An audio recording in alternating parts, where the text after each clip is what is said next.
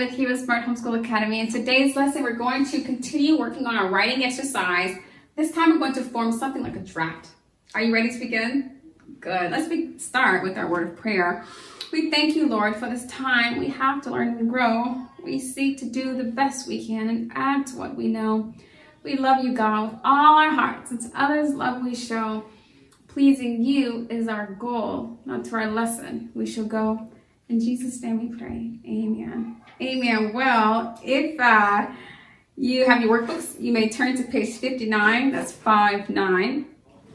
And as you're turning, I will just remind you what we talked about last week. So we left off talking about the different potential things God may want you to do with your life. You said, what do I want to be with our grow up? What does God want me to do when I grow up? What direction is he leading me into? Those sorts of questions are really important to begin exploring because even at this age, let's say you feel compelled to work as a firefighter or to go as a firefighter, then you can start taking up an interest in it even at the age of seven or eight. You can start reading books. You can start asking questions. You can start even, you know, talking to your parents about meeting firefighters, real life firefighters, visiting fire stations. You know, perhaps you'll start collecting fire hats and costume fire fireman, firewoman clothing, and just begin to ask questions and, and, and you know, and because what God wants everyone is perfection. He really likes perfection. He likes for people to do a very good job at whatever it is they're doing. The scripture says that all that you do, whatever it is you do, do what it as unto the Lord. So whatever God has you do with your life, you want to do it as though you're serving him directly. Because by extension, you are serving him. And so since you know you're serving him, you want to make sure you do a very good job. So you may as well start asking those questions, finding out where it is God is tugging you to go, and then just look into it, ask, you know, um, learn more about it, read books about it, meet people who are do, doing what it is you want to do. And I believe that'll position you to be a really, really um, successful person in that field of choice. Now, with that being said, last week we listed a huge number of potential possibilities and potential um, um, places you'd like to, or things you'd like to be when you grow up, but, and potential careers. But today what we want to do is find a way to organize it in such a way to where it actually looks like a draft. So let's take, for instance, a fireman or firewoman, some sort of firefighter. With your draft last week, You'll just continue to ponder those potential careers. Today we're going to extract one or two of those, let's say one, and you just form it into sentences, just basic sentences such as, you know, I think I want to be a fireman. I think I want to be a firefighter.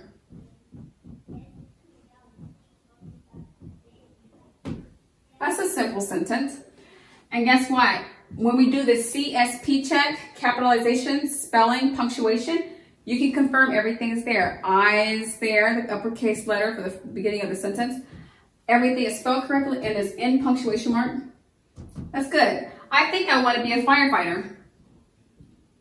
But maybe your next sentence is, but I'm not so sure. Or maybe you'll say, I also believe God wants me to be a nurse.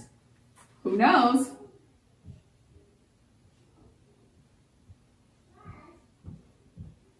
However, God may want me to be a nurse.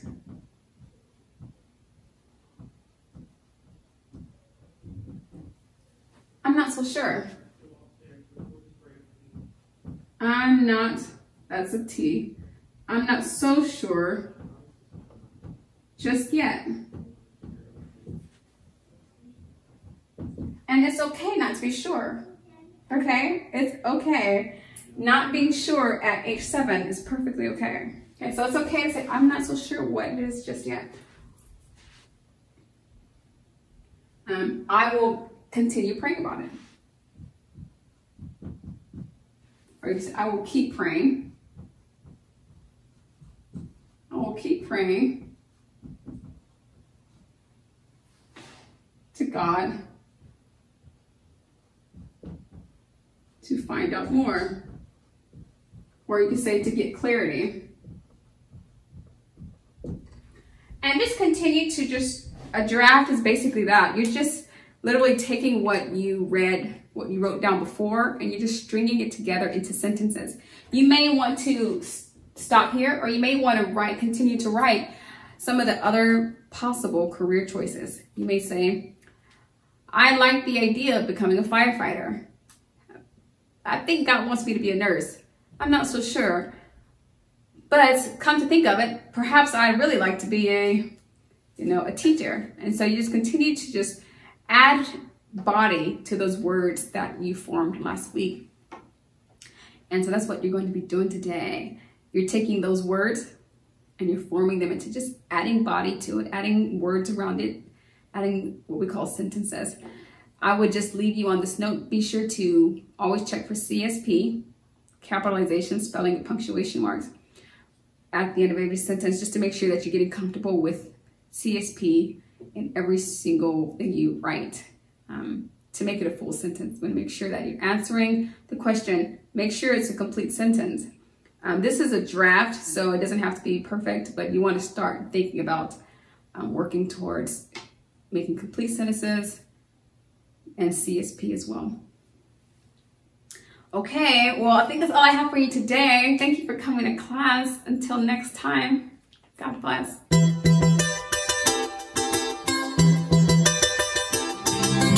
I'll be your hero's buddy, and as you study with HeroesMart.